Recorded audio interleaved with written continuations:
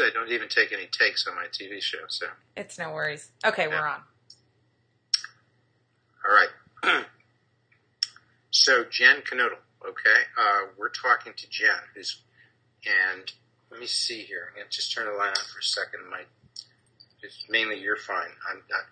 So the name of the blog is Jen Chicago takes the Windy City, right? That's right. And they can find that by going, I would think, to chicagonow.com slash Jen Chicago takes the Windy City, right? Yes, there, there you go. It's a long, it's a long title. You could probably find it if you search Chicago now and Jen Chicago. So, yeah, You just Google Jen Chicago. You're like the only Jen in Chicago, right? I am. I think I'm the only Jennifer on, in the world. Yes. That's said, you're the only Jennifer I know. So in my entire world of women, Really?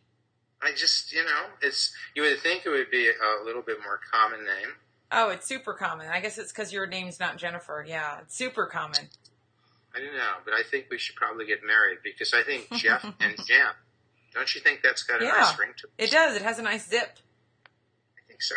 I don't think it, I don't think marriage requires much more than you have two names that I- sort of go together. Yeah, I mean that's that seems like all anyone else is is doing before. that's the only qualification some people are having. So okay, so you started this blog about how long ago?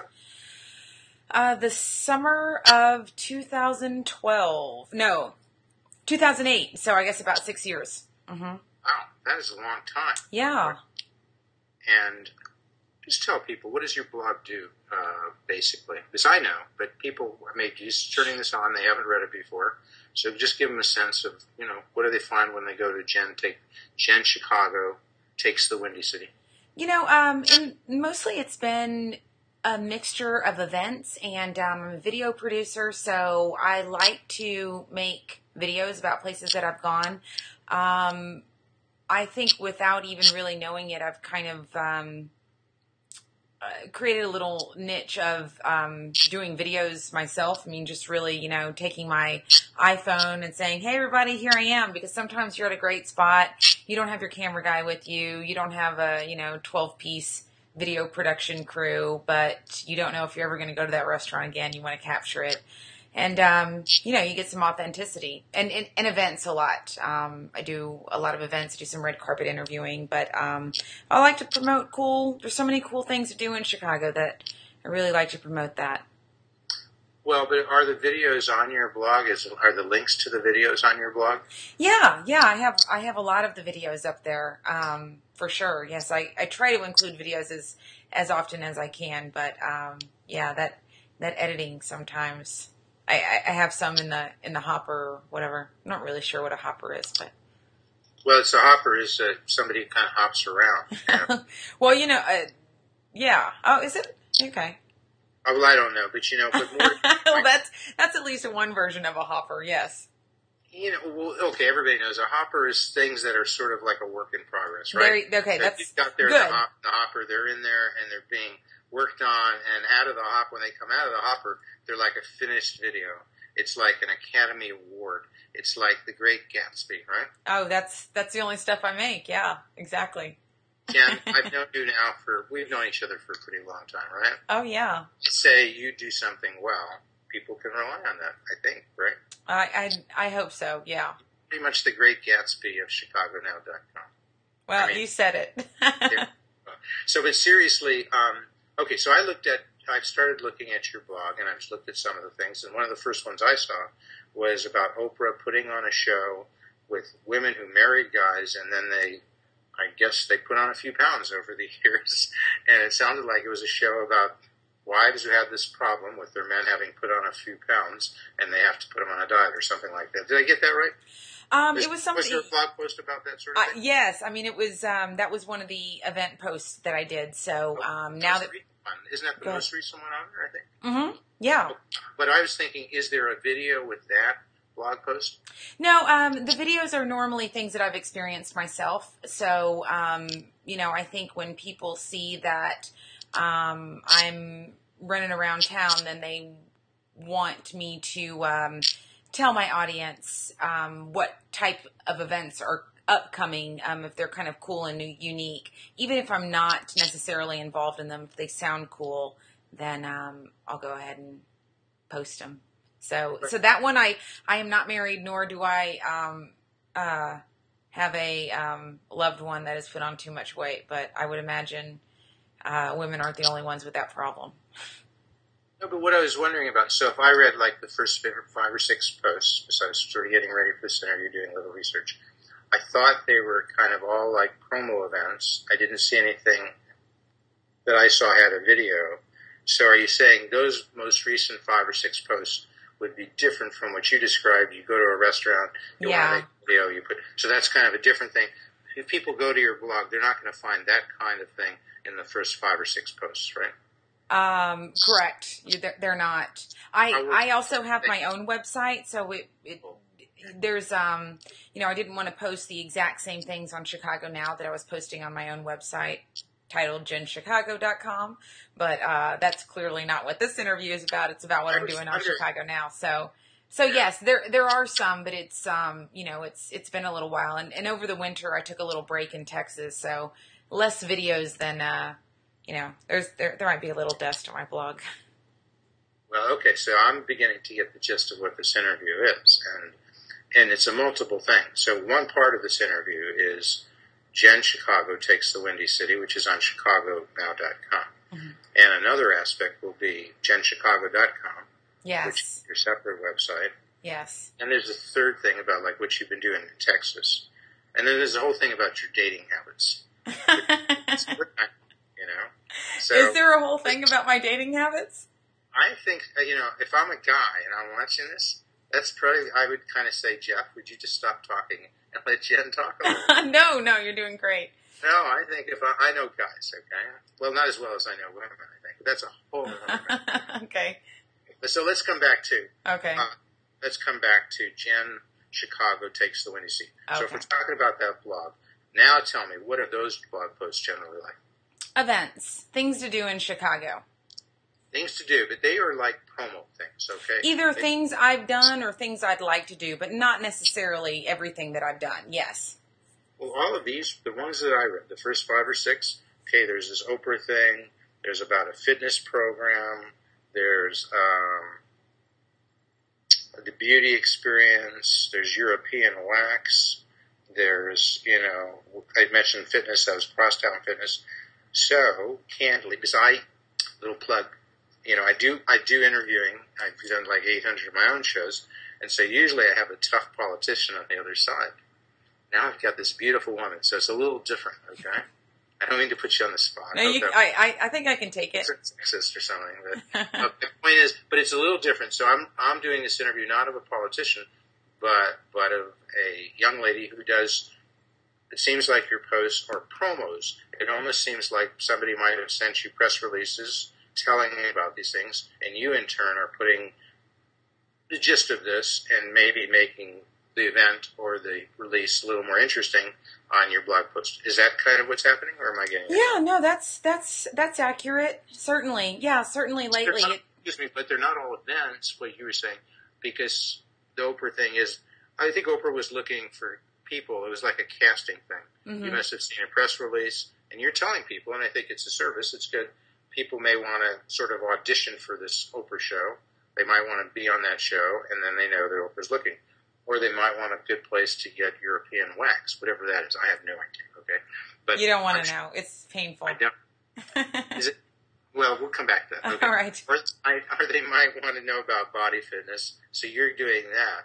But might I ask, just because I'm just a little curious, are you paid by these entities for doing this? You're not. You're just like doing them a favor of letting people know about their thing they're trying to promote, and you're letting your readers know. You're doing them a favor of letting them know about this promotional deal. Yeah, And you're not making any money on this at all. Is that right? that is correct. I no, I don't make money off that. I don't make money uh, at, at all off anything I do for Chicago now. So But do you have like a PR firm? So if somebody sees this says, "Oh, Jen's really good at promoting things," and maybe we'll contact her and she'll do our PR campaign.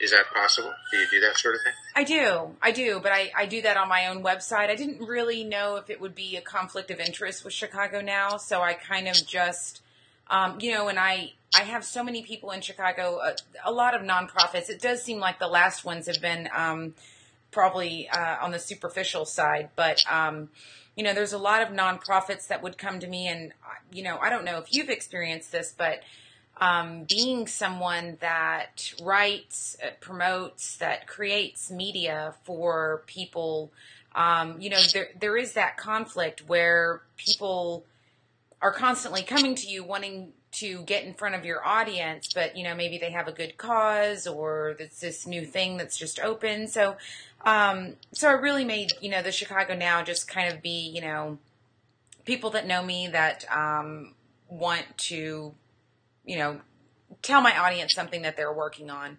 Um, a lot of times I, you know, I will. If I look at it and I think it's, you know, something people might be interested in, then I'll go ahead and post about it. But, um, yeah, yeah, you, I, I definitely need to get one of my video. I'm, I'm going to get it before before you put, post this video. I'll make sure I have a a more recent uh, video of myself up there because that's that's really my sweet spot or what I love to do. Up, when you say up there, you mean on ChicagoNow.com? Uh-huh. Yes. I don't see. I mean, I can't speak for ChicagoNow.com, but I don't see why. I haven't read the rules. Is there something about you can't put up a video that shows you doing what you do that people might want to hear about? I can't see any problem. I mean, just tell them if anybody gives you any static, say Jeff said to do it. Okay.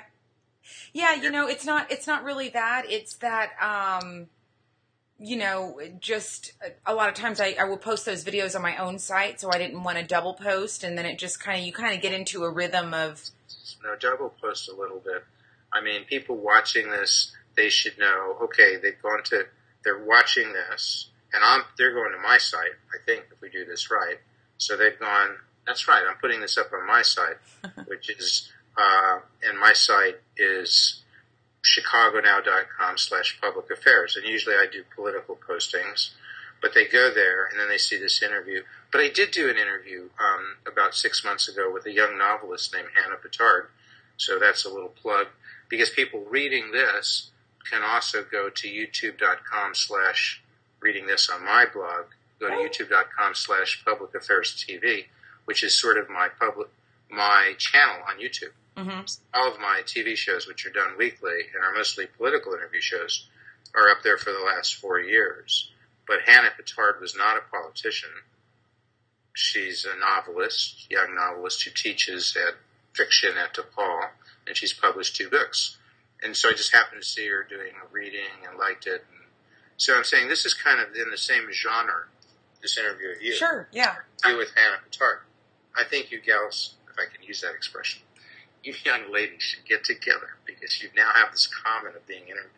What you have is this pond that you were both interviewed, sort of in a video by Jeff yeah. Berkes, her in a, you know, very elite group. Yes, probably on my show sometime. I think. yeah, think. that'd be awesome. Okay, so back to what you're about, and so so yeah, people they'll come here if this works right. We're going to get this video posted. They'll see that, and then they'll say, oh, I'm going to go look at Jen Chicago takes the Windy City, and then they'll go to one of your posts, and then they'll say, oh, click that on, and oh, there's that video that Jen was talking about, right? Exactly. And this is exactly how it's supposed to work. Jimmy Greenfield, who's this genius over at ChicagoNow.com, we both know him. Jimmy is yes. like our community leader, right? Yes. Right? Yeah, he he's super excited great. and organized and cool, and, and I thought it was a great idea. Right. So and then people are going to see that and they're going to say, oh, well, Jeff's okay with politics, but the real star here, okay, the real star here is Jen, right? Okay. I don't know about that, but a girl can hope. Sure. All right. So, so we've covered these these sort of things that go up on your post. I mean, up on you. I uh, know go up on the ChicagoNow.com blog, and then if people go over to jenchicago.com, they're going to see more of these events posts that are that are posts about events that you've either gone to or restaurants you've gone to, and you shoot yeah. this video because like wherever you go, you just like grab your we call it a video cam these days, camera camcorder. Yeah, camera phone. Camera phone. Yes. Wait, just take you like a smartphone that has a camera. Like I can maybe I'm holding this up here if I don't know if I, don't know. This video that people are going to see, are they going to see it just like it is? It's mostly you, like I'm seeing it, and there's this little picture of me, or what will they see on this video? In this video, it should be a split screen. So Yeah, it should be me on one side and you on the other side through the in- duration of the. Uh, we're 50-50. We're sort of community property here. exactly. You got All it. right. So, so if I hold that up, you're telling me that's the that's the video camera that you use to do a lot of these shoots. A lot of them. I mean, I've, I I have produced for you know I've I've produced and hosted um, for twenty four seven Chicago on NBC Chicago. Um, so I mean I've I've produced on the top you know well it's probably not the top you know but a, a very high level of production TV quality. Um, and I've like I said I've also used my phone. I um, I love them both. They have their you know they have their differences, but um, you know I think sometimes people definitely act differently when you have you know a big camera crew and you know everyone sometimes i just like the authenticity of not asking the waiter before you know i'm some like oh look at how delicious my steak is. Isn't this steak delicious? You know you don't even ask them you just kind of get them right on the spot because sometimes when you bring in that big crew and you know people sit up straight and they tell you their you know two minute elevator speech and they're using a vernacular that normal people don't understand because they're kind of nervous or they're just saying that thing that they always say at cocktail parties. And um, so i just really have an affinity for just kind of using my phone. I think it gives an authenticity that that um, i personally enjoy. Um, and um, yeah yeah i guess i mean i guess that's that's just you know uh, it's got, i've got that little artistic kind of like I don't want anyone to touch my art, man. You know, like I, I can be like that sometimes. So Yeah, well, I mean, no, I understand. I totally get it. So you're, um, I mean, but you mentioned you do you're you're a producer for twenty four seven. well, I was I was doing that. hmm Was was that NBC? Did you say Uh huh. NBC? Yeah, or- NBC Chicago. Tell us a little bit about this. Not everybody may know about that. Oh, What it's a it's a what great is- show. When does it air? What is, what when does it air and what is it about? Um, it airs Saturday nights after um, Saturday Night Live, and um, it's just an about you know about town. There's a lot of celebrity interviews. There's um, you know So this big. Channel Five in Chicago, right? That's right. hmm and the name of the program is Twenty four seven Chicago. okay, and it's like so Saturday Night Live in Chicago Central Standard Time goes ten thirty to twelve. This Yeah. is going to go from midnight to twelve thirty. Um, it actually, it starts at twelve thirty, so there's one show in between. there's one show in between there. Starts twelve thirty to one. Yes. Right. Yeah. Half hour. hmm And if they Google, if they Google, the name is twenty four seven Chicago. Yep. So if they Google that, they might even find it on YouTube or wherever. Oh yeah, yeah. Some of the episodes are are certainly on. Um, Even NBC, may, maybe even NBC Five may post these things on their own site, which is probably something tricky like NBC.com or something like that. Does that sound right? You would Uh, know. You yeah, there. you know what? I have not seen them on um, NBC's main page. I think that's probably that's probably uh, you know a little more a little more big time or something like that. But but oh, oh no, they made a mistake like big time. And I'm going to talk to them. the show 24-7 has their own website and you know they have their Okay, own channel okay. so they, they posted a lot of episodes like that when, so were you doing, when were you doing the show mostly?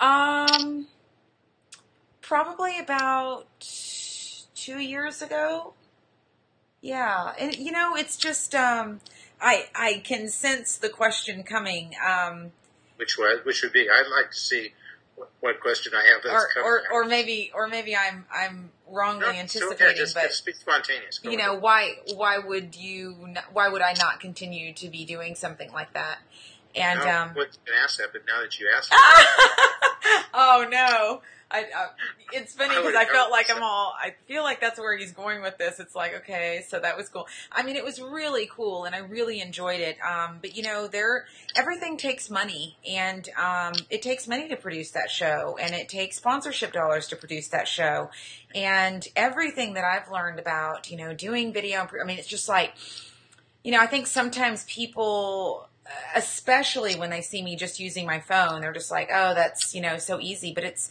it's um really everyone knows how to press a red button, but everyone knows how important video is, and people don't do it because there's so much more involved um, with that. And especially if you're going to do something like on television, you really have to get sponsorship dollars, which means you know, running around, talking to people, telling them what they're going to get, you know, how this is going to work out, what the episode's going to look like, how their brand's going to benefit from it. And it's really, it's a lot of work. Um, it's a lot of work. You know, it's, it's, um, that was a really, you know, it's a really hands-on show. The the the gal that runs it, Katie Keough, um, she's just fantastic and just works tirelessly on it. And um, you know that again to kind of go back to my little artist. It's like I have that streak where I kind of just want to. I, I I just uh, I don't know that I want all that direction all the time. I mean, sometimes I just want to go and kind of, you know, do my own thing, do it the way that I want to do it. I don't want, you know, to have to send it through 12 people to um, edit it before. And again, I love the show. I think Katie does an amazing job on it, you know, but it just makes sense that by the time you have to get a bunch of people to look at it, edit it, review it. I like this. Could you get the manager in there? This and that it's not it's not what you it doesn't have that you know it has more of a much more of a polished feeling. And so it's just different. Um i i, I don't know. I've just noticed about myself i i like to um i really like to speak from my heart. Um i also have a, another website Jen, that's my name, just Jen Knoedl, and I mean, I just really talk about deep existential issues that I'm going through, and like what's the purpose of life and all this stuff. So, um, it's really an evo- it's really been like kind of an evolution of you know thinking, um, oh, interviewing celebrities that's like the best thing ever, and then you know you get there and you're like. Actually, I think I want to interview like, you know, native people that aren't so polished. You know, I, I, I think that's kind of where I'm leading. I really have a passion for travel and um, I'm trying to do more of that. And um, I, I think that's, I, I think maybe I'm, I, I gravitate towards not so polished a lot of times. So, so where did you just mentioned your third website, which is Jen Knoedl, and how do you spell Knoedl so people could know if they're going there? K N O E D L. Yeah, dot com. Jen, J E N, mm-hmm. space, K N. No, no space. Yeah. K N O D. O E. K N O. E is in Edward, D is in David, L is in Lewis. So K N O E D L. K N O E D L. Six letters, right? That's right. Said it one more time. Jen, J E N K N O E D L. Okay? That's right. We got okay. it. Jen Knoedl. Yeah, but that's that's just for the deep stuff. You want to, you know, you want to keep it light. yeah, go to the other ones. Well, like how deep are you, Jeff? I mean, when you say that, because let's go back a little bit. Like when you were at this show 24 7 Chicago, uh-huh. you said you left about two years ago. So how long were you doing it before you left? Um, a few years. Yeah, I was so fortunate because I, I was running around making, I come from a corporate marketing background, um, and I was making really good money, but I, I wasn't happy. And I decided that I wanted to host an international travel show. And I really hadn't done much travel and had never lived anywhere else. But, um, I just decided that I just had visited Chicago and I loved it. I, I just felt like Chicago appreciated me in a way that my hometown doesn't. Um, that's the truth. Uh, everyone just loves me there. I can't explain it. I mean, just when I'm there, it's like I just feel like people appreciate my personality more so than they do. More than they did in your hometown. Which where is your hometown? Austin, Texas. So you started out. Did you grow up in Austin? I did. Mm-hmm. Born and raised. When were you, when were you born and raised there, if I might ask? Um, approximately, like just ballpark, you know. Like, well, it was my birthday um, two days ago, and so um, I happy birthday. Thank you. I know. I was like, why did I say that? Because I was, yeah, just gonna say, I, I, it's not a problem. I'm 37, so it was 1977. Yeah. Ah, okay.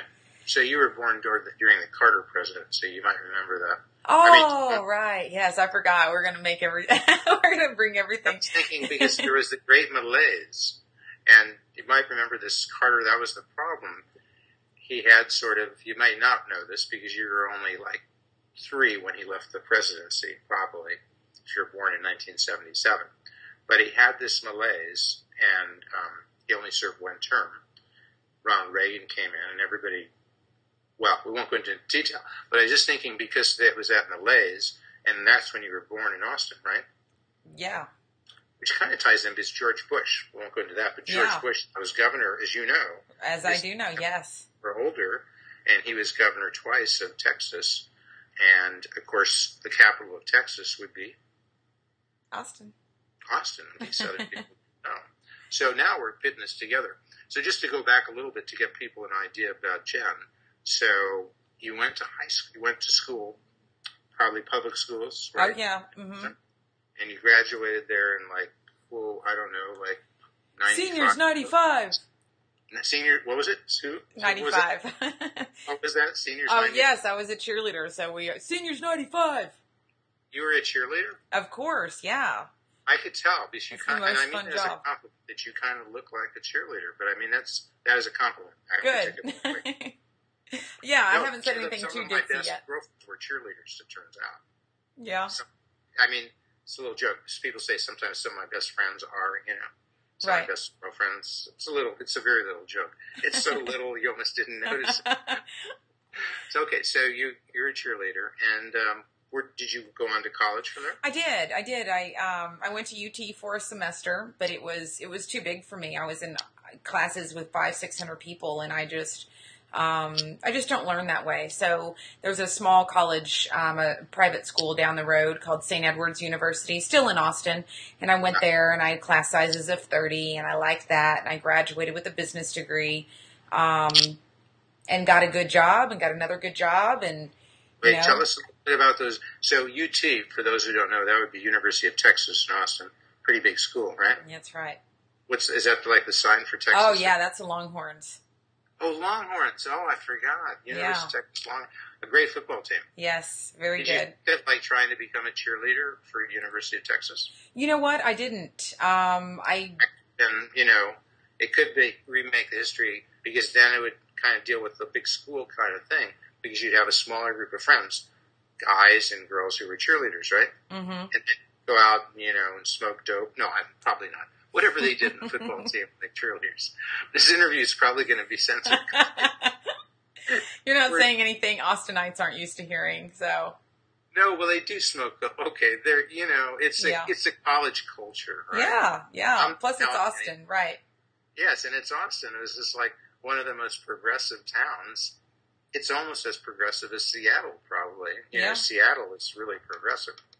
I'm Yeah. using it in the political sense. You know, Sure. progressive meaning left, far left. Yeah. Okay? In case anybody watching this is so confused now, they don't know what this is about. Right. But seriously, okay. So tell us a little bit. You left then St. Edwards, St. Edwards, right? Yes, graduated from St. Edwards. Tell I was a cheerleader at St. Edwards. You were a cheerleader there. Yes, Very yes. well, very. Um, Just- so that was just kind of- this is out of left field, but do you happen to have your old cheerleading? I do. uniform? I do. I do. I have them, and You I have to be wearing it right now. Right? no, no, no. Okay. I, I was thinking I, if you were, and we could just change the camera setup a little bit. yeah, no, You- I so- don't. They're in a box somewhere. There. Would you bring it back to Chicago when you come back? Um, I had my pom poms in Chicago, just because you just never. You'd be surprised how often you need pom poms. Yeah, I know, but we'd like to see you in there. well, you know, I was on the Steve Harvey show, and um, I, well, it wasn't my original costume because they didn't give us enough time. But yeah, we, I, I got to bring my pom poms, and I was on his Halloween episode for being. Um, we, You- I dressed up like a cheerleader with my girlfriend. That's so. like a cheerleader. So you have the uniform. It was a different uniform because uh, we didn't Gave he, it to you. we didn't have enough time. Yeah. So anyhow. All right, so bring it back, and we'll do a separate show on All that. right. I will do it on public affairs. Okay. Most guys have a thing about cheerleaders and cheerleader uniforms. yes. almost as much, almost as much as like like Catholic girls' school uniforms. Yeah. Did you ever see those Yeah. Nurses. I- nurses. No, no, no. It's not, that. You're making this into something. I don't know. I, don't, I, I thought that's where you're going with that. There's the plaid, those plaid skirts, white blouse, knee socks, patent leather shoes. Yes. Like, there was even a play about that. Do patent leather shoes reflect up? You know that? You never no. no. We're getting rather far afield. So getting back to communications and that kind of stuff. Yeah.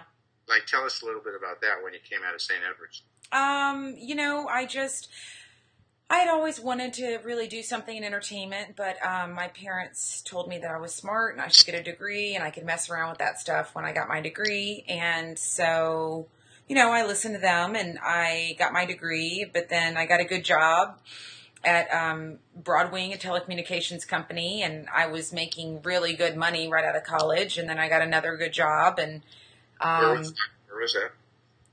um, the one after Broadwing was another software company called Kraken. They're not around anymore. And then after was- that, huh? Was that in Austin? where you working Yep, on? hmm that was in Austin also. Keep going. Sorry, didn't mean to interrupt. And then uh, an ad agency, GSD&M, okay. and then IBM, Wow. and um, then that was really kind of you know. Then I started. I, I really was kind of depressed, to be honest. Um, it, it was it was a great job, and I liked the people that I worked with. I just felt like I could be doing so much more, and um, just really What were sort you of. doing? Just what were you doing for IBM when you were last when you were there? Um, I was a marketing project manager for, um, you know, Worldwide Software Group. So, I so you were marketing software pretty much and, and worldwide. And like, why would you be depressed? It sounds like a really fantastic job. it does. seriously. It does sound like that. So, Yeah. So tell us why it wasn't fantastic. um, it just, um, it.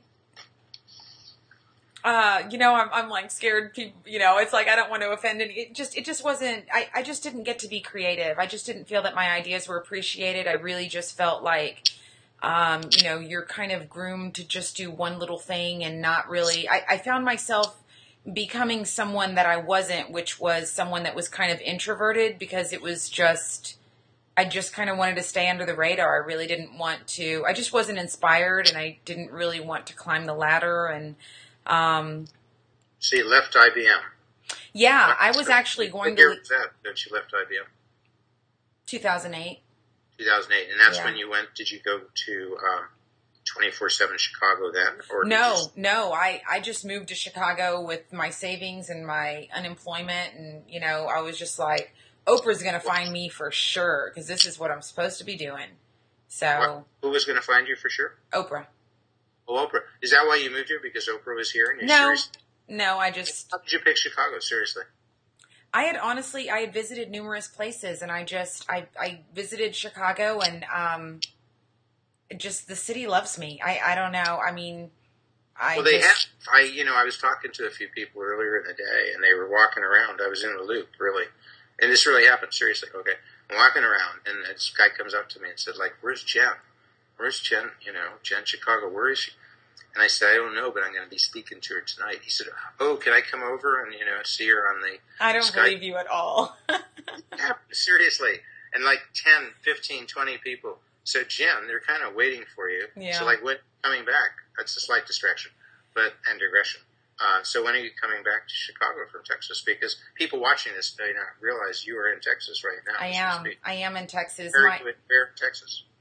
Um, right, right now I'm in the woodlands, but um, I my grandmother recently broke her hip, so I have Sure. been caring Taking for care. her a little bit. Yeah, so she's going to move in with my parents. They are doing construction on their house so that she can move in with them, and um, I'm watching her in the meantime, kind of just caring for her in the meantime. So Is that in the woodlands right now? Is it's that in where Bryan, so it's in it's in uh, College Station where A and M is A and M. Texas at the Aggies. Okay, Yeah, I know. yeah, gig 'em. It's the total opposite. Used to have a very good economics department. Seriously, Texas A&M. Yeah. It was a University of Chicago satellite. Is that free Oh. market kind of stuff? Seriously, they're sort of there were satellites of the University of Chicago Economics Department, Texas A and M. I actually know somebody who taught there. So the Aggies, really, it's nice. It's good. You're in College Station. You're in good hands. they're very nice. And my, my grandfather taught there. He's he's since passed, but he he taught there. So my grandmother still lives there. Um, you know, for the So time. that's where you are right now. You were coming. We were bringing um, this to people throughout, really, because people, if they go to youtube.com slash public affairs TV, well, that's our YouTube channel, and people watch that show from China. Seriously, Nice. seriously, because I believe you. We I did people should know. I did six shows with Barack Obama, six one half hour shows. Wow. And you're now on probably longer than a half an hour, so you're actually better than Barack Obama in that sense. Wow. Seriously, I'm not fooling around. My parents would have to agree with you. Is it, are you slamming Barack? Is that? I'm not. I wouldn't do Parents that. are upset with Barack. Why are they upset with him? Uh, you know, they're they're just really strong Christians, and they just don't. They just kind of think he does his own thing. He's kind of Well, made that comment when he was running for president. You know what I'm talking about in 2008, and he was he was at a fundraiser.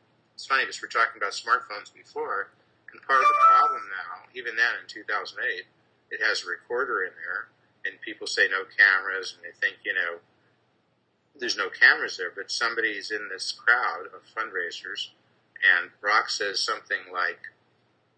Well, you know, he talking about people who cling to their guns and their religion. Seriously. He wouldn't say that if he were like giving a major speech, you know, going out to 200 million people and somebody just held up their little smartphone. I know they had audio and they may have had video.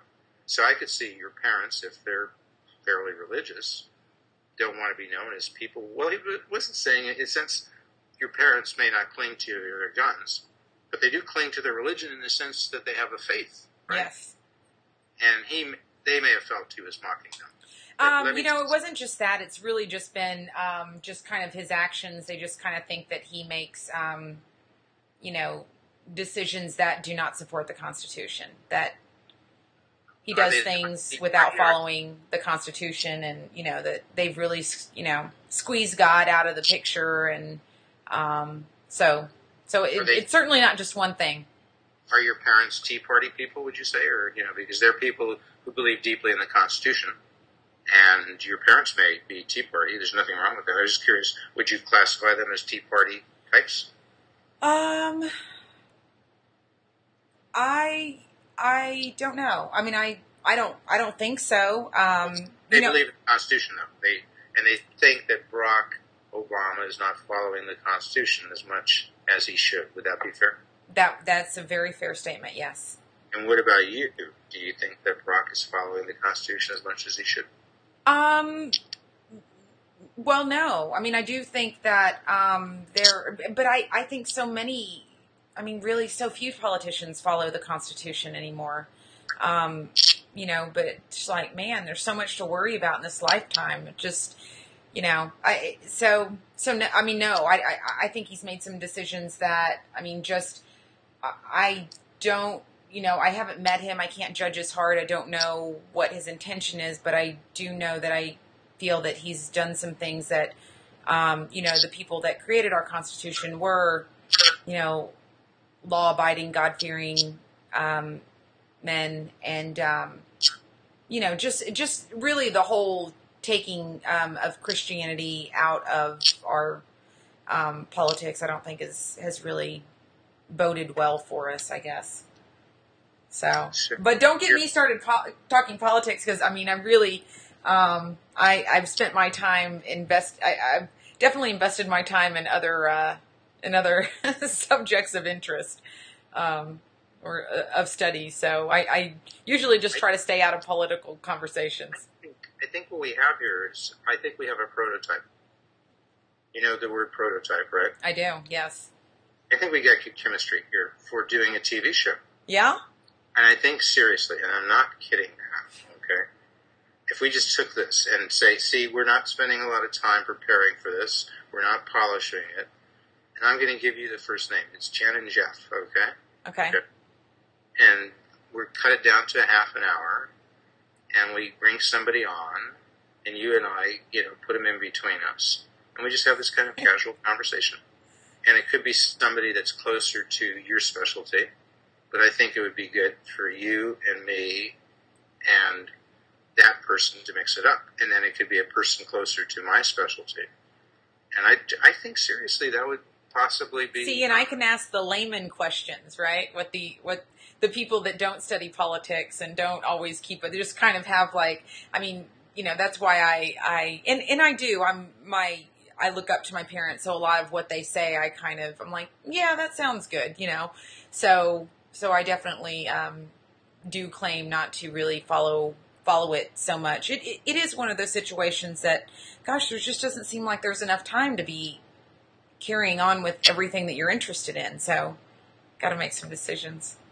Well, you know, there is a show. You mentioned M- you mentioned NBC. You might know this show on uh, MSNBC, and it's called Morning Joe. Have you ever heard of that show? I have heard of it. Yeah, and it's with Joe Scarborough, who's a former conservative Republican congressman, and he's one of the main anchors, and the other is Mika Brzezinski, and Mika's the daughter of uh, I can't forget his first name, but Brzezinski, the guy who was actually Terry goes back to Carter. He was the national Brzezinski. Forget his first name. Sadly, I'm looking silly. Uh, was the national security advisor Jimmy Carter. So see this kind of chemistry we have. You were born in the Carter administration, like, and that relates to Mika Brzezinski. She's a very attractive, smart, interesting woman, and they have really good chemistry. They're probably like married to separate people, or they're both divorced. I don't even know. What, okay? point is, during on the show, they have good chemistry, and they have different backgrounds. Um, and see, we're doing the same thing. Yes. And Well- we're coming to. If we went to NBC, we could be so much less expensive than oh yeah, I know. and possibly better because we're in a sense like if you watch this, this is a much more hip conversation. I mean, that's like on a different level. Right. You know, the important demographic for TV these days, it's the millennials, right? Right. which are people under 34. I understand that definition. Sadly, you're almost, you're a little bit outside the millennial category. I mean, you are young, but I don't know, are you feeling old, Jim, because you're no longer a millennial? You know what? I was just telling someone the other day. I mean, um, total package. I've never been better. I mean, you know, maybe I've been a little thinner. Maybe. Um, Could you show us? Could you like stand up or something? Seriously. This is like spontaneous TV.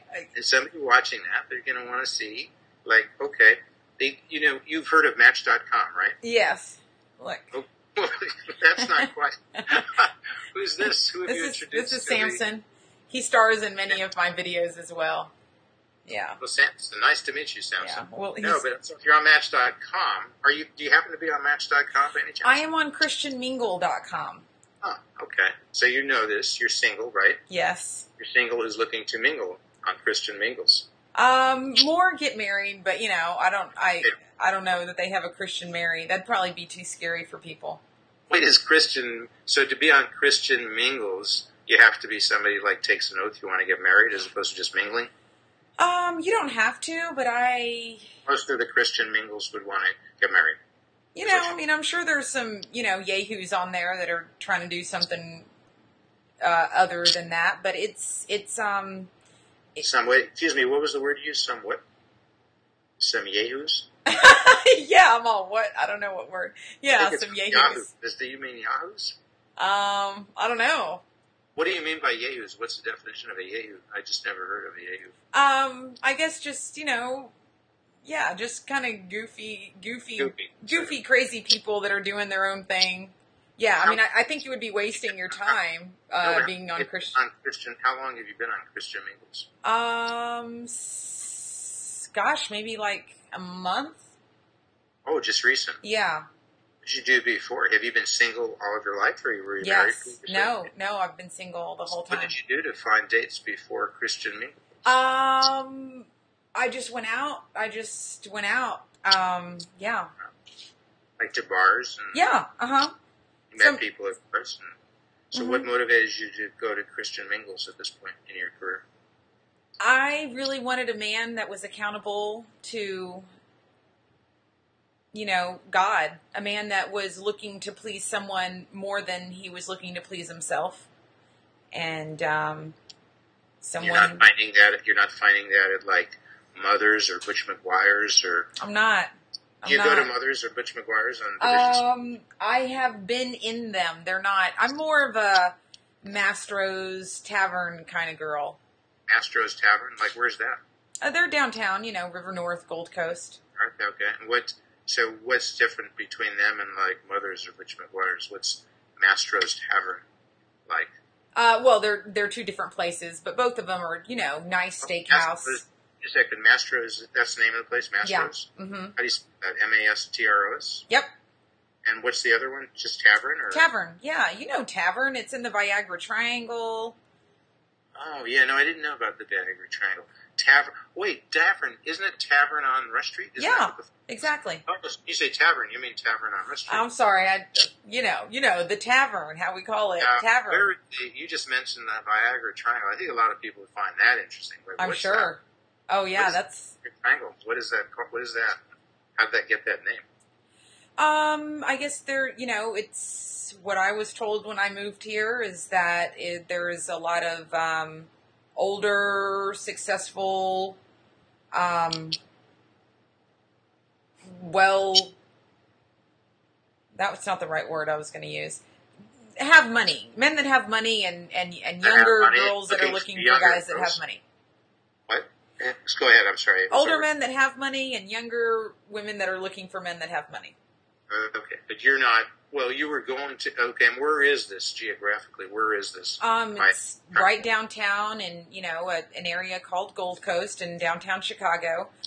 And give us some tweets because maybe there's somebody watching this who's coming from Austin.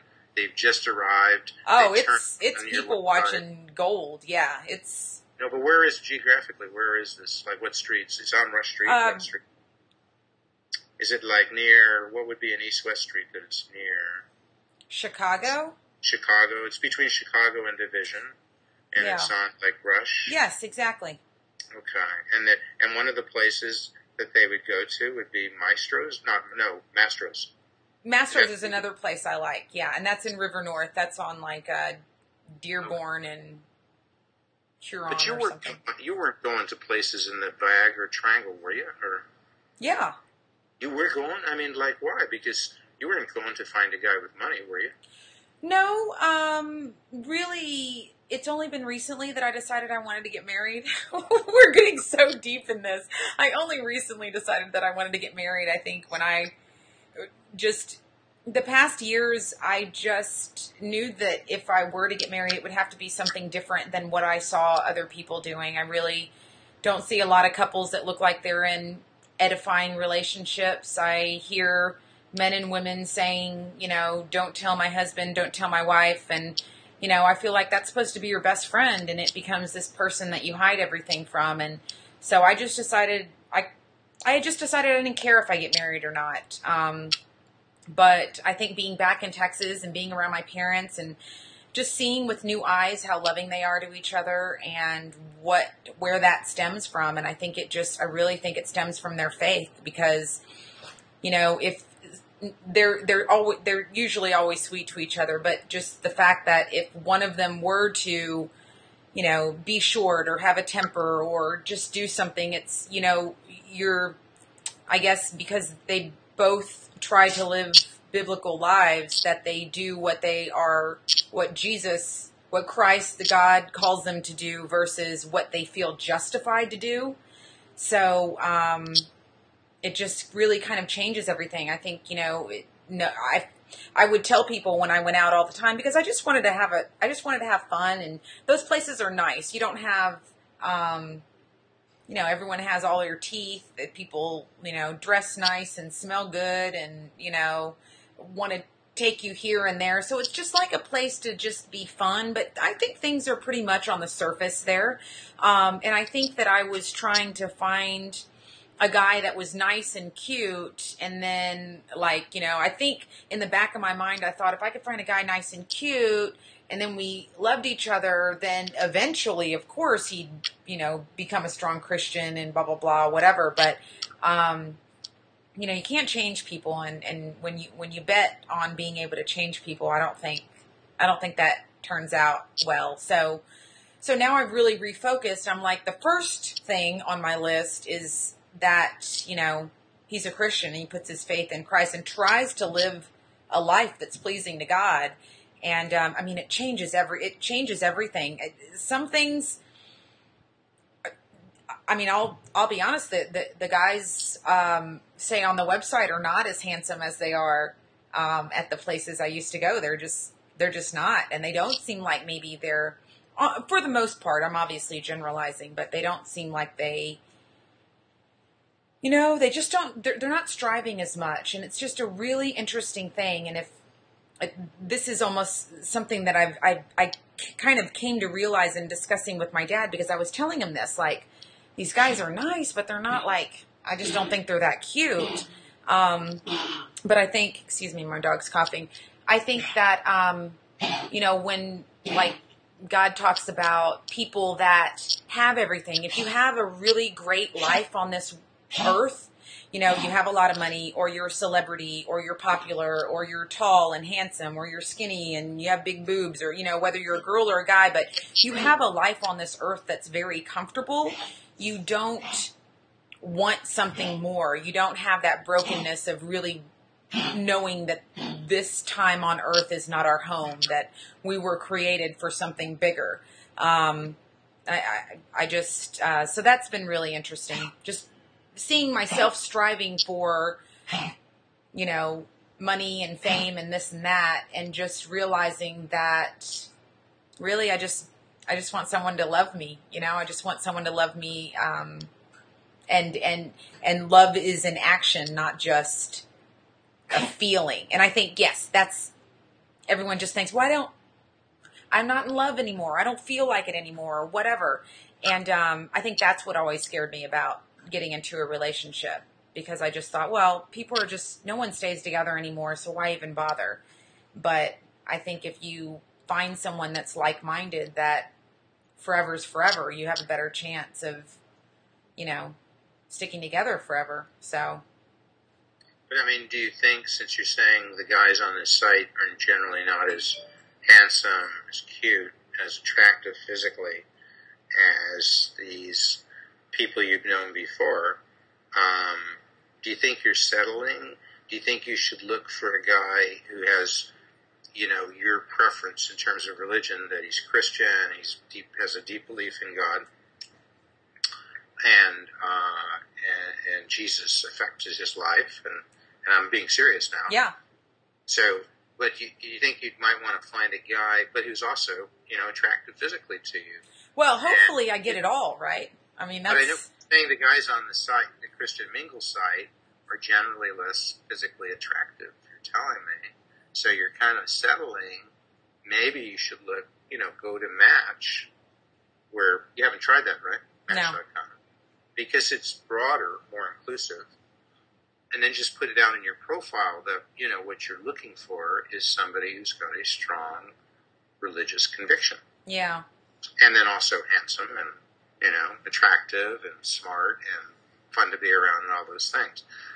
I mean, you know, drop a profile of what you want that includes these other things that you have not been talking about before. So you've been in these socializing places, you know, on Viagra Triangle and and I'm that not, sounds horrible. it's not. I'm, I'm not. I'm just saying. But it's okay. There are some women there who were looking for a guy with money. That's all they wanted. And then there was Jim. You know, not looking for that. But these were nice places, as you said. People have all their teeth, and guys do have money, and they dress well, and so forth. But you were not looking, I don't think, for somebody just with a lot of money. You're looking for the guy who's religious and has some deep conviction, and so forth well as also handsome. And I'm just saying maybe, you know, I I mean, and there could be other I don't know the other sites, but there could be other online sites that are less specialized religiously, but yet still would have some people presumably who have some religious values similar to yours. I'm just suggesting maybe you yeah. want to try that. And then you come back and we'll do a TV show about that, seriously. Okay. And we'll talk about Christian Mingles, talk about Match, and maybe some other one. And you can share these experiences. Just I think and I'm being serious now. I'm really being serious. No, I I'm I actually made a uh, a birthday video yesterday telling everyone thank you and um, just you know the flow of me and I'm I'm just walking around with my camera and I'm like thank you everyone and da da da and this is what I've been up to and I've been watching my grandma and um, I'm I want to get married and I want and it just kind of came out but then when I rewatched it I was like you know what I'm I'm not ashamed of that like I think I thought it was desperate of women to want to get married before. I was just like, I'm an independent woman. I do not need a man. Um, but you know, I don't I don't need one, but I do think that we were created to be together. So um, I guess just with you know, and the other sides. I mean, it's an option, but I, you, I, I just think everyone thinks. I think a lot of times people think that they're Christians because they believe in God, but it's like it's a totally different thing if someone is actually trying to live a, a life that's pleasing to God. And I it's just amazing how easy it is to get away from that and start being your own God. So I'm asked, what religious, what religion do you practice? I'm non-denominational, so I mean, you're a Christian, but you're really not affiliated with any specific religion. right, right. Were you, were your parents affiliated with a specific religion? Um, we started off Catholic, and then when my grandfather died, my mom, you know, moved to a Bible church, and that was really hard for me. But you know, I think a lot of people, you know, when when I I've kind of had this renewed faith um, since I've been, I'm like, yeah, that's that's the next evolution of my life. Um, in talking with some of my friends, I realized that really so many people have never even read their Bible. They don't know what it said. They just kind of have these hazy ideas of things that they've heard, and they're putting things together. And um, I, I mean, it. You were saying I'm not kidding, and it really is something that I've been thinking about because, like, to what you're saying is like maybe I'm settling because the guys aren't as attractive, but it depends on how you look at it. Because maybe I was settling just going for an outward shell of someone that's going to be 70 and he's not going to be a nice person. He's going to be very selfish and only care about himself and just doing whatever's good for him. And if he doesn't feel like coming home or he doesn't feel like being faithful or he doesn't feel like whatever, then he'll just do whatever he wants to do. And it would just, you know, I, I just don't want to go through that kind of heartache.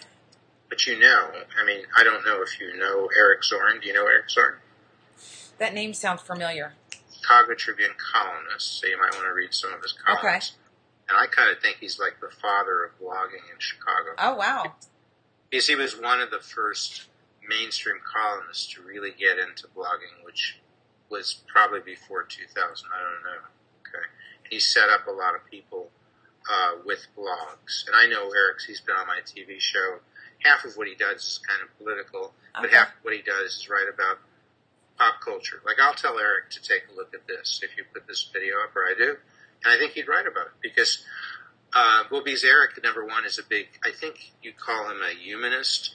It's a person who believes in doing good things and being a good person, but doesn't necessarily believe in doing it through a religion. Right. so it's sort of a secular approach to being good. I just wondered if you thought you could meet some person who thought there's a larger force, which I think is a lot of what religion is about, or various religions. There's something larger than them. Right. And if for a religious person, it's often following in the path of Jesus Christ. If you're a Christian, following in the path of perhaps Moses. If you're Jewish, I don't know. And then Buddha, etc. Right. But all of these people are larger than just your individual life. They're spiritual. And in Eric's case, I think, he'll have to speak for himself. I don't know that much about humanists. They just accomplished this, but without having a religious figure there. And um, because you said you're non-denominational, which was interesting. Eric is is is not secular. I mean, he's not religious in any any religion. And I've never gone to the gatherings that they have of humanists, whether they just chant Eric Zorn. No, I'm just kidding, Eric. you know. But I think it's a serious topic, and I guess you know the question for you is: What if you met a humanist who was really said all these things that I just said about doesn't like focus on money or even girls or something? You know, focuses on well, he might like girls or something, might like guys, whatever, but and you know a normal social life, but he also thinks a lot about what I'd call spiritual things in terms of what is good, what is right, what is moral. So when you're 70, you don't look back and say, "Did I do anything?" You know, because I think like one of the main think, thinkings of Christianity is, um, and maybe it comes from Jesus. I don't know. You may know. Tis more blessed to give than receive, which sounds kind of trite, but I think if you had that as a guiding force in your life, you kind of go around looking for ways to help people. And I think a lot of religion is that. If you go to Match.com, a lot of women, I don't read the guys' things, so I don't know. If you read the women profiles, they often say spiritual but not religious. I think that's probably the most popular thing. It is. It's very new age. It's very Oprah ish. No, but in a sense, you are spiritual but not religious because, well, you're spiritual but not denominational. And is that kind of like being spiritual but not, you know? I don't I mean, think so. Well, what what is enough? Is where do you where have you where have you gone to church in the last three or four years? Where would you go to when you go to church? Um, right if now, person. No, no. I, I think we've already passed personal. Yeah.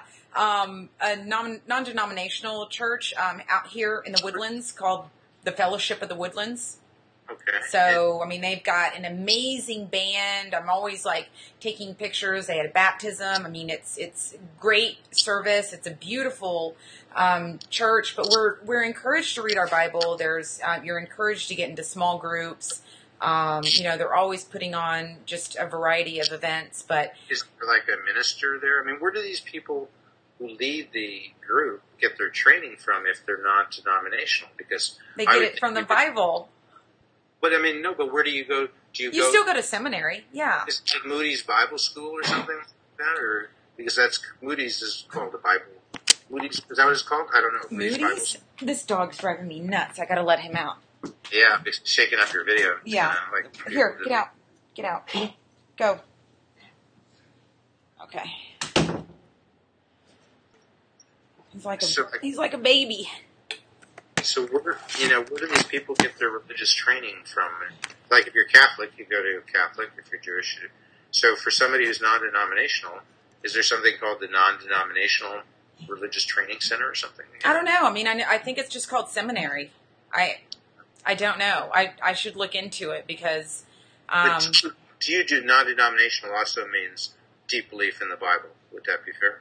Yes, it, it means definitely not Catholic you know, and not Protestant. I mean, it, because it's not about like other people. It's just about like the Bible. The Bible, yeah. Not about the. Is it about Jesus? Oh yes, definitely. Well, but and what's different? Well, the Catholics obviously believe in the Father, the Son, and the Holy Ghost. Yeah, and they believe um, Father, Son, and the Holy Ghost. They also worship saints and the Virgin Mary they can. There's a pope, and the pope can. The pope and I guess the College of Cardinals. I don't know. Does the pope canonize people, or does he do it with the College of Cardinals? I don't know. What, um, what does it take to become a, a saint? It takes some. You're supposed to have two miracles, and then who decides you're a saint? Is it the pope or the pope and his cronies, or don't like, don't get me lying about Catholicism. What? I don't know. Oh, you don't really like Catholicism? No, no, no. I just you know it, it just I don't think they're encouraged to read their Bible, and I think that's I think I. Really? I mean, I just I think that's a problem. Yes, it's kind of like come to church. I'll tell you what's what, and then go out in the world and and and I don't think that I need anyone to get in between me and my God. I don't need to tell anyone but God my sins. Not that you know I don't. I just I don't need that middleman. And I I just all the Catholics I know, like none of them read their Bible. They they don't know the first thing about it's just kind of what they heard and there just seems to be a lot of rules. It seems to be very legalistic. And so you know i mean i got a full-time job just worrying about my own salvation. I don't know what's what but i i mean all i can do is tell people what i think or what i know or what i've experienced so far. And um, i just feel a lot closer when i'm reading myself versus going to um, you know just the pageantry and the tradition of a mass. So. So, um, just a question or two more, and then we'll tie this up. But um, we'll sort of think about it, bring it all together. Um, I don't know how you're going to pull this all together. Uh, well, it's sort of. Um, okay, so so how are things working out for you on, on ChristianMingles.com? Have you met some guys? Um, I have. Um, it's it's it's been very slow going. It's totally different. It's just it's totally different. I mean, I never wanted to do online dating because I think, you know, I'm a very passionate person. I'm uh, you know, like to meet people in real life. Um, I feel like I don't, you know, video helps, like, you know, how we're doing right now. I feel like I have a sense of your personality, but just talking on the phone and, you know, all the, all the back and forth and first you're emailing and then can I call you? And then, you know, it's like when exactly do you like, you know, start putting effort into it? And then, you know, I really want to be pursued. That's something that, um, I think most women want.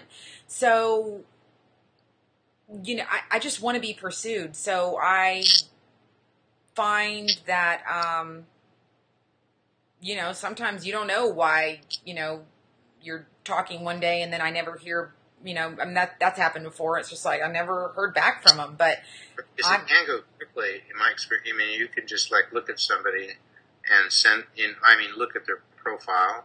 I think, I assume Christian Mingles would be like match. You have a profile that's available for people to look at.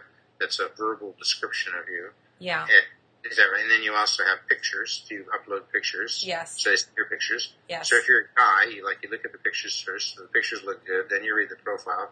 Right. Profile looks good. Then you send off an email saying, you know, I like you. I think I like you because Y or Z, and uh, or this sounds like we have this in common. Would you like to get together for coffee?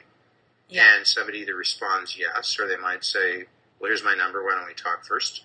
And you talk, and then you just have a coffee date, and either you like each other or you don't. I mean, I guess somebody could say, oh, I want to spend like two months emailing you, but I don't think that's typical.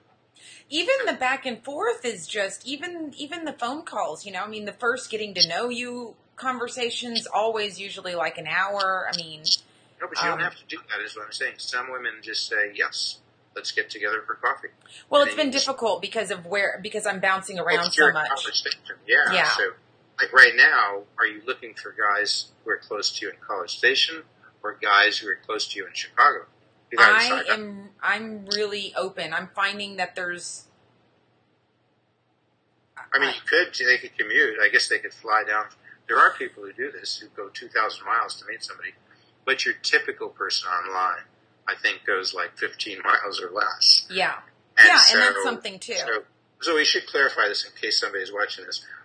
Uh, what's your plans in terms of coming back to Chicago? Do you think you'll be back in two weeks, two months, two years? What's no um actually my grandmother is planning to move in with my parents in september so i mean they're doing reconstruction on their house everything and once again you know it was one of these things that you know i was visiting with my parents and and and chicago was it was it was just getting really complicated because what i wanted to do i wasn't doing. And then it was like you know when you have to start like hustling for business and getting paid for stuff now your art isn't exactly what you wanted it to be. You know you're kind of getting commissioned to do something. So it so i was very confused and i was praying a lot. And and really i i felt like i'd really lost that closeness when i was in chicago just really making a lot of concessions and deciding what i thought was okay and uh, So you got just- out of Chicago, and now you've put yourself in College Station, taking care of your grandmother, and in a sense, you're, you know, you're, you're, you're. What's the word when you um, kind of go away from things? You're in a retreat, yes your own personal retreat. yes? You're sort of being introspective a little bit, and very you're sitting there thinking about what you want long term. And we're taping this, so to speak, if you call it taping.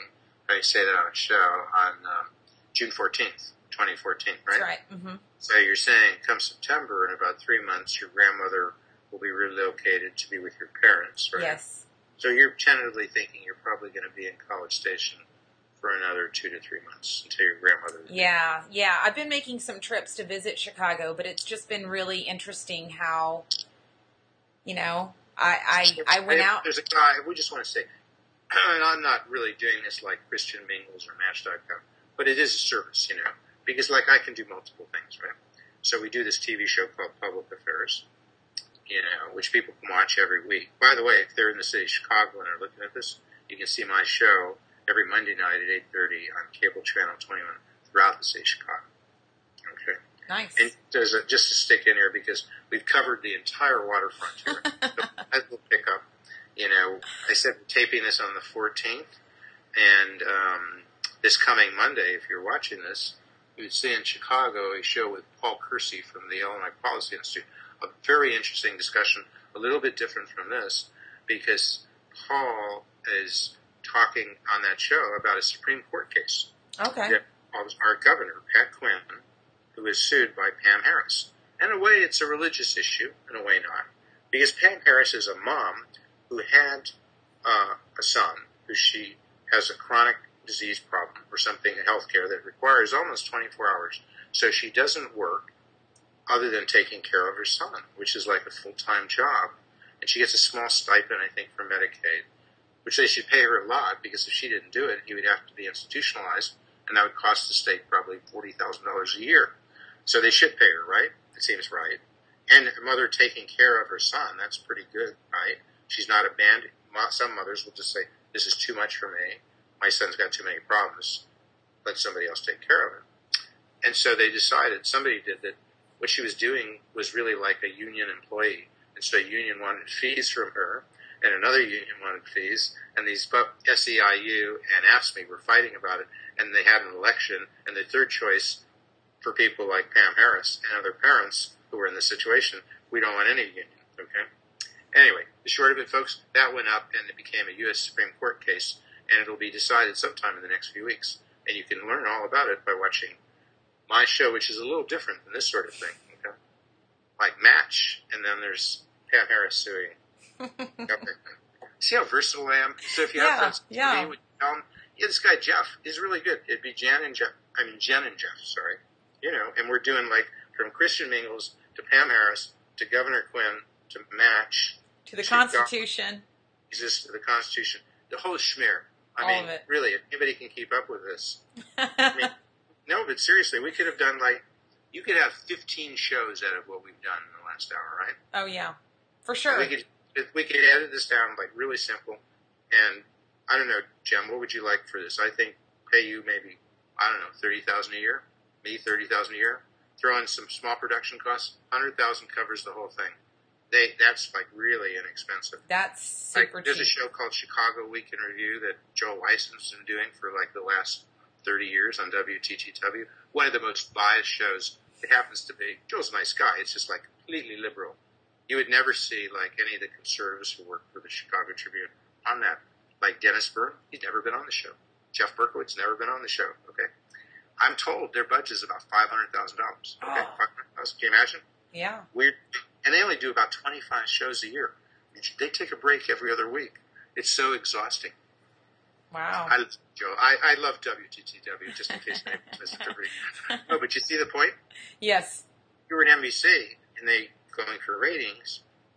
I would watch this. I would watch you, Jen. Seriously. There are like thousands of guys out there just to see your cheerleader. No, I'm just kidding. Uh, right. Yeah. I'll have to work that in next time. Yes. Um, where was I? So, okay, so they would see Paul Kersey, and then the next week, State Representative Ron Sandack, who's interesting because he was one, and this ties in with some of what you're doing. Then we'll get back to all of what you're doing, because he's one of the he- one of the three Republican state reps in this in the state house down in Springfield who voted to support same-sex marriage but showing the kind of guy I am, we covered that, but it wasn't all about that because also important is the state budget and the state tax scheme. And I mean, a lot of people think this is like way beyond it. So if you're in the like the Viagra Square, okay, or triangle, square, Viagra Triangle, if you were there and you're talking to like you're 37, so you're socializing with a guy who's like 39 possibly, and you know he's working hard to make a living and his no, like, what's taxes? I don't know. You know, that's something else. And did you know, Jan? I mean, you have a tough time trying to support yourself too. Do you know what the tax rate is? I'm just curious. Do you know what the individual income tax rate is currently if you make money in Illinois? What's the rate at which you pay taxes on your income to the state of Illinois? Is it 1%, 2%, 3%, 4%, 5 It's like, oh, I no, think the whole thing doesn't the whole thing come out to like forty percent? It does. That's very good. If you took federal taxes and state taxes and property taxes and the whole thing, right? How did you know that? That is like remarkable because it's, I'm not being condescending now. It's like right on the money, and most people don't realize that that 40% of your earnings go to the state, to the government, to the various governments. But I was asking a somewhat different question, to be fair. Uh, Yes. and that question was, what is the rate at which you pay taxes on your income to the state of Illinois?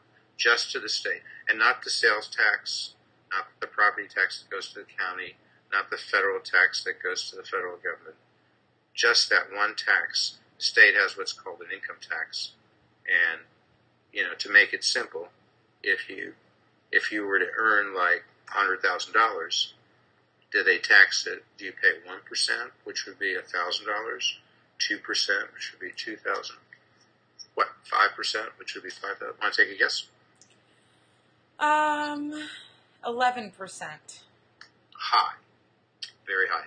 Actually, what it is currently is five percent. Okay. So, on hundred thousand dollars of income, you pay five percent. And four years ago, in 2010, it was only three percent.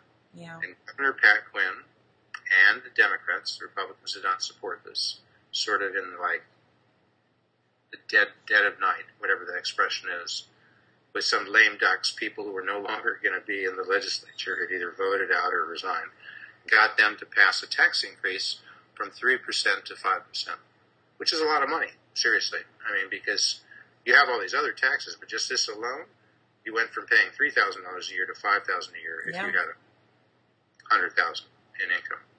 And they said it would be mostly temporary, and in four years, the tax rate would fall back unless something was done automatically from five percent to three point seven five. I know people are glazing over because I'm using decimals here, but so that means January one of 2015, about three months after you come back, just as a land milestone about three months after you return to Chicago, as you're returning to Chicago, everybody, those guys who were asking, where's Jen? She'll be back in September, especially if you're a Christian Mingle guy, because, you know, they might want to take you out, right? They might. Yeah. You are definitely available to an attractive Christian Mingle kind of guy. I mean, I don't know that I want to say Christian mingle. I'm I'm available for a strong Christian man. Yes. Strong Christian man. Yes. So, and then three months later, the tax rate just is like you happen to be born during the Jimmy Carter malaise year or so forth. It is just marking the, because it is political. We're doing politics and religion and dating all in one. So Yeah. And isn't it all mixed up anyway? it is. So in January, the tax rate was supposed to go back to 3.75. And Governor Pat Quinn said, no, he changed his mind. It shouldn't be temporary. We need that to stay at 5%. Okay. And the thing of it is, I'm saying, this goes back to my show with State Representative Ron Sandack. Most people just bring him on talk about this sort of sexy issue, so to speak, same-sex marriage. No pun intended. Um, and here we spent a lot of time when I had him on talking about just what I've just done now in a minute or two. What was the tax rate? Did it go up? And more importantly, what will happen? Will it come back down to 375? Will that's what's scheduled to happen now if nothing else happens. And I'll just tell people if you watch Public Affairs on a week from this Monday, on that'll be Monday the 23rd, cable channel 21 throughout the state of Chicago, you will find out from State Representative Ron Sandack, you know, what's going to happen to the tax rate, and what's going to happen to your, are you going to be paying 5000 a year if you're making 100000 or are you going to be paying only only $3,750? That's like a $1,250 difference. And of course, as you would point out, Jen, that's just a small part of the total taxes because, as you say, federal, county, property tax altogether, we're not talking 5000 out of a 100000 We're talking people paying 40000 out of 100000 Yeah. I mean, it, there's something in the Bible about how much you give to Caesar and how much you give render that to God. You know that phrase, something about Give that. to Caesar what is Caesar's, and give to God what Yeah. is God's. and give to Pat Quinn everything else. Now, Yeah. Yeah. so, No. wrapping this all together, I think everybody can see this. The name of your blog on chicagonow.com is chicagonow.com slash Jen Chicago takes the Windy City. That's right. chicagonow.com Jen Chicago takes the Windy City, and that's where they go to see a variety of promotional things that you've distilled, you've synthesized, and you said, here's what you really want to know. Like the Four Seasons Hotel might have a promotional thing, and it might tie it in with Breast Cancer Month, and it's a serious thing. And you may want to get more fit, and so there might be something about promotional things for people to get into fitness programs. And what else am I missing that might show up on that blog? Um, definitely uh, videos about places that I've been or um, you know big events. Like i said i did you know i, I do some red carpet interviewing so um, is that on your blog or is that on jen chicago i put some on jen chicago. I, I put some on chicago now for sure. And the last time i went when you say red carpet interviewing a lot of people like my viewers wouldn't know and my readers because they're into politics they may not know. I mean I, they should know but what do you mean by red carpet interviewing just you know bigger events in Chicago, um, Chicago Film Critics Awards, um, you know, grand opening of Rolls Royce, uh, just bigger events that have a bigger production. It, they you have, go out to the red carpet where these celebrity types, business or government or drama or entertainment, walk up this red carpet. They literally roll out a red carpet so they don't have to step on the street, right? I mean, heaven forbid heaven forbid. And so these celebrity types come there, and Jen, you just show up there, and you just like essentially put a mic in their face because you did this on 24 7 Chicago. I mean, in a polite way, not like me. I was just like, okay, Governor Quinn, what do you got to say about that?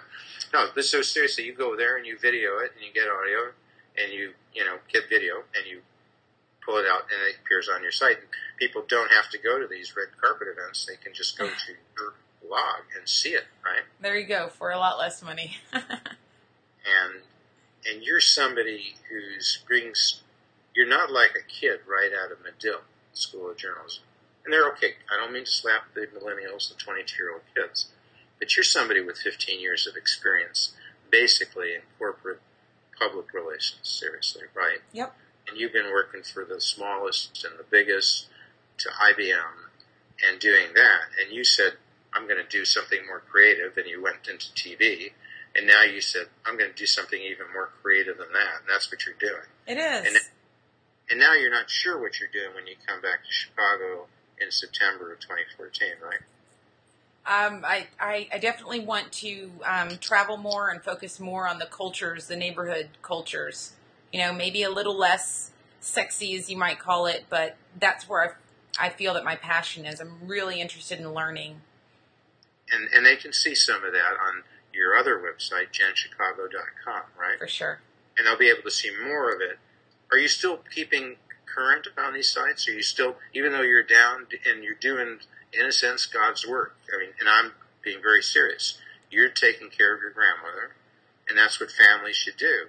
But while you're doing that, you're not completely out of the professional world. You're going around taking video and you're putting some of that up on jenchicago.com. I am. From tech, right? Yeah, I, I, I made some videos about my vacation in uh, Mexico and then I went to Chicago, and made some videos there. So yeah, they're in the hopper, as we say. So they need to be, some videos need to be edited and posted. But yeah, I'm, I'm, I, I really have a passion for travel. So and you might even try writing a little bit, I think, on either of these sites about, you know, christianmingles.com and your experience. okay. I think it relates to this stuff, okay? Yeah. It all comes together. It's all life. It, it really is, yes. Right, seriously. And I'm not, I mean, you know, sounds because people laugh at when you say that stuff, but it is all life. I mean, if you have a serious conversation whether it's about religion, whether it's about politics, whether it's about the war in Iraq, whether it's about the income tax rate. I mean, you know this stuff. No, you knew this. I mean, it's not like, oh, I only do this and I don't do that. I don't know how you knew it, but you knew that 40% of people's taxes goes to government, okay? no, and I, you know, I think you should be proud of that. Okay. like St. Edward's College there, I don't know, you know, but Okay, so you got those two sites, and then remember we've got one more website, right?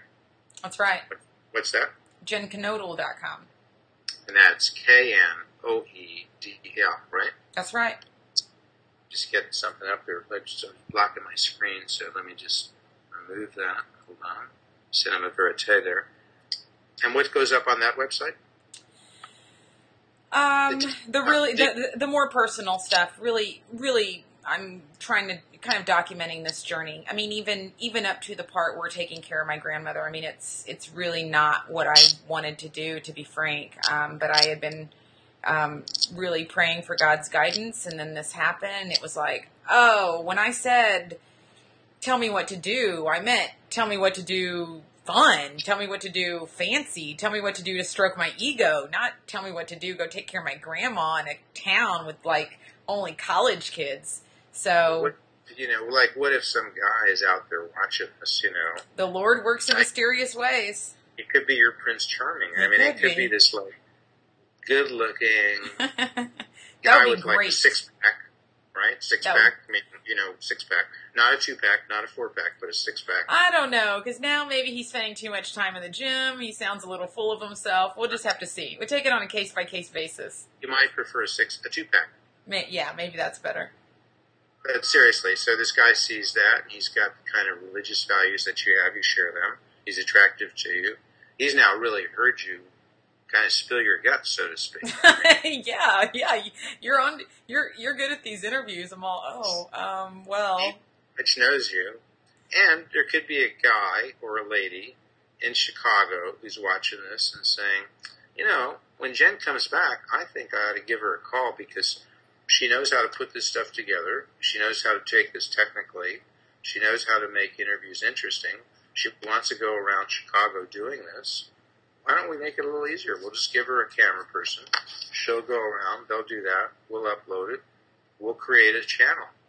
I mean, you no longer have to go broadcast or even cable, right? No. It's online, right? Yep. And, you know, and we'll just get people to subscribe to it. And we get like, I don't know, 100,000, 100,000 subscribers. They pay, I don't know, so 100,000, they pay $10 each what is that? That's a cool million dollars, I think, right? I like it. You walk away with 400k. I walk away with 400k because it's Jen and the Jeff. city in, of Chicago walks away with 100k. We give Rahm his cut. You know? Yeah. And, and then we give NBC somebody or whoever wants to do this. But seriously, you know that kind of thing could happen, or somebody on Facebook could see this and say, "Well, why don't we create a Facebook channel or another YouTube channel or something somehow different, something that we're going to peddle content for, you know, the pigs who have Androids or iPhones. And, you know, stuff happens, right? It does. Stranger things right. have happened. I mean, it was like Bill Gates, 35 years ago, maybe, 40, sitting in, dropped out of Harvard, sitting in his garage, who came up with PC computer. Is Steve Jobs, who had kind of trouble with Apple and left Apple, I think, for a while, and then came back and led this tremendous resurgence on smartphones. I mean, folks, we said we would tie this all together. What does this say to you, Jen? Why don't you tie it together? I'm going to do what I. I'm just going to ask my guest, and you are my guest. Tie this together in a 30 seconds or so. Um, we only have a short time on this earth and there's so many wonderful things to be interested in and you owe it to yourself to investigate um, the things that you're interested in and not take other people's word for it. And um, watch less TV and do more reading and have deep, interesting conversations with people because you just might learn something. Yeah, and I mean, I'd say we've been doing this now for about 90 minutes. So Yep. This is basically going to be like a documentary or what you might call a, you know, a full length program for people who really want to get into it and and I think you've tied it up pretty well. I don't really have. I don't think I have much to add. I think you okay. should get this done. We'll put this up there. It's gonna. I, I I think you're really quite good at this. Seriously. Thank you so and much. Thank you for watching that. We'll say that. Okay. And I don't think you're really a good sport because I don't think there are a lot of people with your background and your skill and your views who would be willing to just be as candid as you've been. I appreciate it. Thank you. And I think it's, I think it's good TV. Thanks. And I think it's going to be good on the blog for reading. I think the Tribune should be really happy with this. and um, it's a bit long. it is a bit long. Well, we, we we can stay on a bit longer, but if you want to sign us out, I'll I'll hit the stop record button. Oh yeah, because I'm just thinking, yeah, I probably think we've got it for we've got it for um, pretty much our readers, your readers, my readers, um, our viewers, and um, I mean, people say this all the time. Look, Barack did this show six times. I think he would tell you if you had him now. And I know you've had some parents had some differences with him, and you have, but basically, he's a good guy. I'm sure he, he seems like a you know he's trying to do good stuff. And I'm just saying, he went on to become president. He would say, Jeff, a half an hour with you, it's kind of intellectually and emotionally exhausting. I could I could see where he's coming from. You Sure. just 90 minutes. I mean, Yeah. folks, you, I mean, really, you, I wish I could, I wish I could give you a reward commensurate with your skill and effort here. But all I can say is, um, I mean, you're up there with Barack. I mean, you may not always agree with him, but he's a pretty accomplished guy. And, you know, Rahm Emanuel, our mayor, was on this show twice, and you're up there with Wow, fancy. And, you know, I mean, I didn't do a show, but I did do, you know, five minutes with Bill O'Reilly. You may have heard of the O'Reilly. I love killing Jesus. Yeah. yeah, and so Bill interviewed me. It was a little bit different. Oh wow. Yeah. He doesn't mince mince words. So, I mean, and, you know, um, I mean, basically, if anybody has done anything of note in Chicago politics or Illinois politics in the last 16 years, they've been on public affairs. That's So, fantastic. Well, I'm honored. Thank you. I appreciate you are it. now with them. Thank really. you. No, this I I know I know that you took a lot of time out of and you, you still have to do the time of posting and uploading and tagging and describing and all that. We go through a lot of work for all this stuff, guys. So I, I do appreciate it. So thank you. I think pretty much this is. I know, I know when this stuff gets posted on Monday, and they have all these choices on ChicagoNow.com among all the bloggers. You know, this is, in all modesty, my guest. I expect this to be one of the primo posts. All right. Well, I'll, I'll do my part and tweet it out. all right, great. Oh, So we're gonna you're gonna close it out, and then we're gonna just talk and chat for a few Sure. minutes. Sure. Yeah. Great. You want to say goodbye?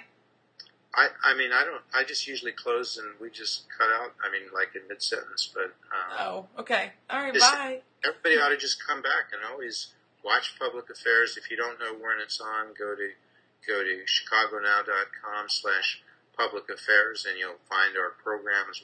Whether you're in the one of the 34 Chicago metro suburbs. Uh, where we are on Comcast, or whether you're in the city of Chicago, where we are on Comcast or RCN, or where whether you're in Aurora, where some really interesting stuff has come out of Aurora, and I mean it seriously. Talk, or in Rockford, we're on Rockford. We're also often on the Illinois Channel, which is the poor man's C-SPAN, which airs around the state of Illinois.